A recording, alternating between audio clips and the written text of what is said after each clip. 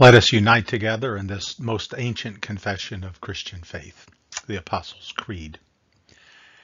I believe in God the Father Almighty, maker of heaven and earth, and in Jesus Christ, his only Son, our Lord, who was conceived by the Holy Spirit, born of the Virgin Mary, suffered under Pontius Pilate, was crucified, dead, and buried. The third day he rose from the dead he ascended into heaven, and sitteth at the right hand of God the Father Almighty.